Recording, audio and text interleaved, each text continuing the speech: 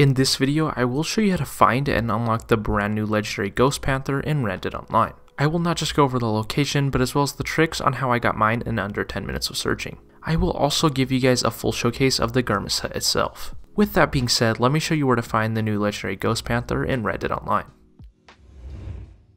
Alright, where you're going to want to head to first is Lagras just northwest of Saint Denis. Now, once you make it here, you can mark these locations on your map as these are the hotspots the Ghost Panther will spawn in.